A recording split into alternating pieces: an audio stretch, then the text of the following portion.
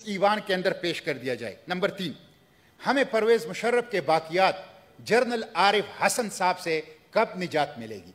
कोई शर्म होती है कोई हया होती है कोई अखलाकी हैसियत होती है। मिस्टर चेयरमैन सत्रह साल से एक स्पोर्ट्स दुश्मन इंसान पाकिस्तान ओलंपिक्स एसोसिएशन के ऊपर मुसलत है और वो जा नहीं रहा। और मिस्टर चेयरमैन मिस्टर चेयरमैन मैं आपको बताऊँ हमें इनसे भी निजात चाहिए।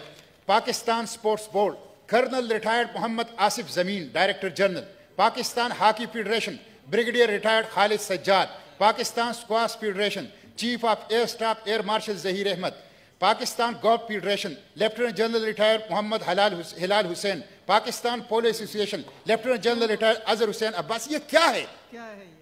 क्या मुझे आप बताएँ कि ब्रह्मास ने ब्रह्मास ने जो चार लाख की आबादी का मुल्क है और जिसने दो मेडल जीते हैं, वहाँ कितने जर्नल, कितने कर्नल रिटायर्ड जो हैं, वो स्पोर्ट्स एसोसिएशन के अहदेदार वो बने हुए हैं।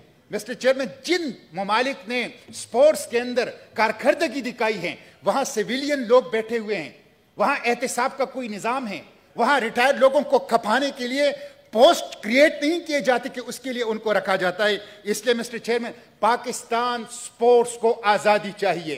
पाकिस्तान स्पोर्ट्स गुलाम है। पाकिस्तान स्पोर्ट्स वो हॉस्टेज है अगवा है। जब तक इसको आज़ादी नहीं मिलेगी पाकिस्तान तो ये तीन मेरे सवाल अब तजावीज़ जैसे मेरा मामूल है कि मैं कुछ तजावीज़ भी हुकूमत को देता हूँ। तो नंबर एक तजवीज़ मेरी ये है प्लीज़ कि हमारे वज़ीर आज़म साहब स्पोर्ट्स साहब फार्मर स्पोर्ट्समैन हैं और उन्होंने इस दौरान जो वो कॉल अटेंड करते हैं उसमें उन्होंने कहा कि मैं स्पोर्ट्स में तीन पीएचडी हूँ। अच्छी बात है कि वो तीन पीएचडी हैं लेकिन सिफर तमगा उन्होंने ओलंपिक में जीता है। तीन पीएचडी के साथ तो कम से कम तीन तमगे आने चाहिए, नंबर एक। दूसरी बात यह चौदह करोड़ आबादी है बालिग लोगों की, बाईस करोड़ आबादी है पाकिस्तान की। मिस्टर चेयरमैन, ये स्पोर्ट्स, ये हमारे एम्बेसडर्स हैं, ये हमारा सॉफ्ट इमेज है, अस्सी लाख ड्रग एडिक्ट्स हैं। अगर आप ड्रग एडिक्ट से निजात चाहते हैं, स्पोर्ट्स को रिवाज दो, स्पोर्ट्स कल्चर को रिवाज दो।